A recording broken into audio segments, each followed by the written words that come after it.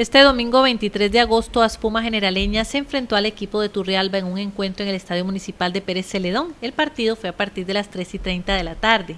En este encuentro ambas agrupaciones empataron con un gol en casa en un partido reñido y difícil para dos equipos muy luchadores del grupo B de la segunda división. No, un partido muy, muy cerrado. Turrialba, usted vio dos, dos opciones, tal vez, muchas tres. Eh, se cerraron atrás, costó mucho, las fabricamos, no entraron y, a seguir trabajando para el miércoles, si Dios quiere, que visitamos Jacó. En el primer tiempo, Aspuma dominó la mayoría de las jugadas hasta que llegaron al final del mismo y anotó el primer gol del partido Daniel Arias del Deportivo Turrialba, logrando el triunfo del equipo en la primera mitad del compromiso.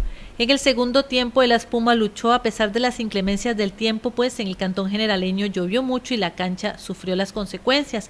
Al minuto 16 vino el empate por parte de Aspuma con el jugador Albán Gómez y este fue el resultado final del partido. Estado sumamente importante, un, un lugar donde es sumamente difícil, un equipo como Aspumas que viene de primera, siempre y cuando está en segunda ahorita, pero viene con ese roce.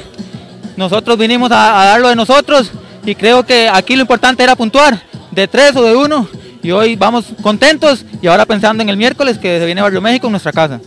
No quedaron muchas opciones de gol ellos, pero nos hicieron una y nosotros tuvimos el manejo del partido, las opciones claras y no las supimos aprovechar y bueno, sacamos un, un empate justo, digo yo, y a seguir trabajando para miércoles.